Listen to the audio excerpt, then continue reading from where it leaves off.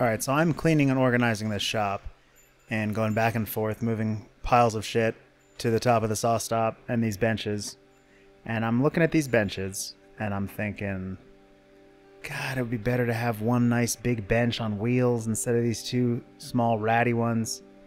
So I took them apart and figured I could reuse the wood to make a larger, nicer workbench. Once all the wood was disassembled and I checked everything for nails, I milled it all square and cleaned up all the surfaces and kind of figured out what I was going to do. Basically, I was thinking of reusing all of these 4x4 pieces to make double thick legs that would hold up a more or less laminated top and some shelves underneath. And I would try to reuse as much of the wood and scrap from building out the shop as possible so that it wasn't a, uh, you know, a very expensive project. In fact, this didn't really cost me anything. The design was basically to, to glue up these legs and they had a little tenon that would notch into the uh, side of the skirt.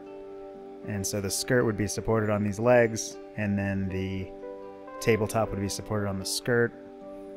And I'm basically breaking every rule of bench construction in this project because I want to have a lip around the whole thing so I can clamp stuff along the edge instead of uh, you know clamping everything to the face, which is common on, in workbenches.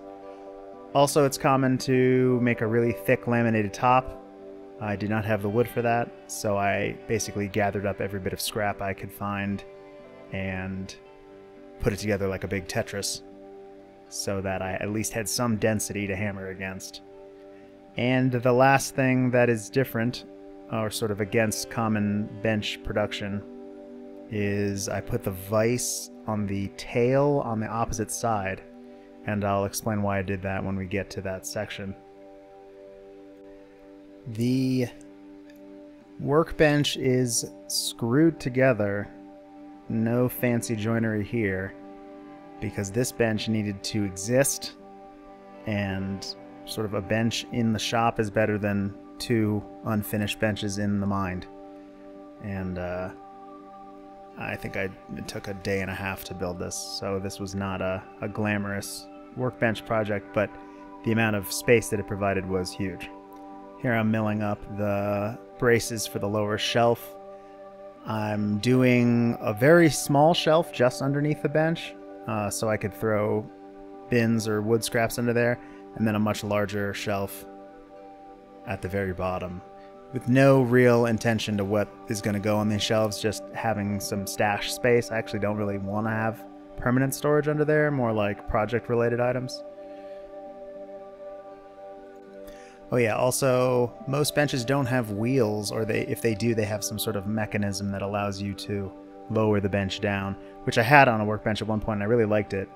Uh, this I'm just using the wheel lock mechanism if I really want to hammer on something, I can put some sawhorses up. Uh, I made some plugs here to fill the peg holes so that they looks a little nicer. I mean, I don't want this to look like trash. I mean, it is jointed and planed, but it's not going to be, you know, the ultimate bench. Another little detail, just threw some chamfers around uh, all the edges so I nothing super sharp. Make it look a little nice, do a little sanding. Alright, so for the top, I had this large piece of scrap oak, and I figured I would screw and glue that down to the corners where I'd most likely be working, hammering on something dense.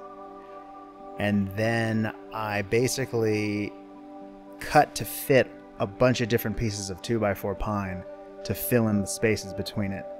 This is uh, definitely a budget bench build. Yes, I it would have been even possible to you know do a big glue up with some some bolts of pine or something to have, make them much denser. But I didn't really have the time, or I did not want to spend a single cent on this. Uh, maybe I bought the casters, but otherwise, this is just from found wood. And here you can kind of see the whole jigsaw puzzle getting glued, clamped together to form a solid wood surface on top of the bench.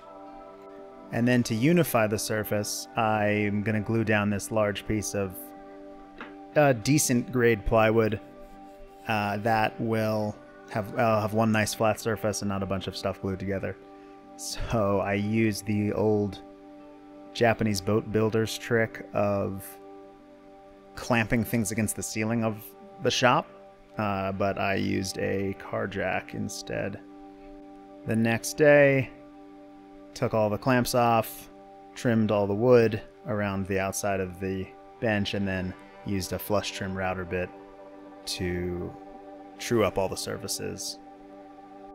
Now at this point the bench is basically usable, but I wanted to make it a little bit nicer, so I I ripped a couple strips of this fir, planed it into strips, uh, you know, nice thin strips, and uh, then put a mitered trim around the the edge so that it would block all the uh, the strange glue up boards and give give it a little bit of fit and finish. And once that trim was all dry, I gave it a little chamfer and moved on to a tiny bit of sanding and then beginning to test fit the vise. So the reason I'm putting the vise on the tail end of the opposite side is for two reasons. One, I can use the little dog hole that I built into this vise to clamp uh, boards lengthwise in a position that makes it easy to, to hand plane with the way that I hand plane, um, standing to the, the left of the board. And also, when I cut crossways, the way I like to, to position when I hold the Japanese saw I like to have sort of some freedom in front of me and to the right. So if I, where I'm standing right now working on this vise, if I'm cutting with my right hand and the leftover is sticking to the right of the bench, there's nothing in the way of the saw. The vise itself, this is a crazy story. I mean, I restored this vise several years ago. I pulled it out of an old um, sawmill that was falling apart in Baltimore. It had been completely rotted. You know, the whole place had rotted apart. It had been stripped of its electrical cables by crazy drug addicts. And their old workshop was there, and some of the old lumber was there. And a friend of mine and I went in and liberated some of the beautiful wood from destruction. And um, then we also grabbed a couple of these vices and finally have a place to put it. Uh, it turns out all, all said and done, the little mechanism that tightens it up is doesn't stay super tight, but you know it is what it is. So a little coat of um, turpentine with boiled linseed oil to protect the wood, and mounting the vise after much fitment and adjustment. And that is a workbench. So now I can start putting stuff all over the top of it. Hey everybody, thanks for watching. I hope you found this content helpful. Please consider supporting Never Stop Building by clicking that red subscribe button and the little bell so you get notified when I make new videos.